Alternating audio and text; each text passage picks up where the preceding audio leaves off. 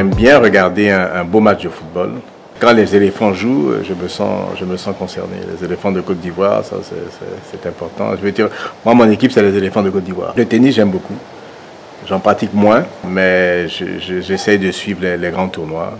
J'aime beaucoup regarder un match de tennis. La boxe, mais ce qui m'a donné euh, d'apprécier la boxe, c'est au Fauboigny. Il m'est arrivé d'aller euh, à des heures euh, pas possibles, regarder des matchs de boxe avec lui. On était tous les deux, curieusement, parce qu'avec le décalage avec les États-Unis, c'était des histoires de 4 heures du matin, des choses comme ça. Lui, il disait qu'il aimait la boxe parce que le boxeur est face à son adversaire seul. Moi, je trouve que c'est un bel art.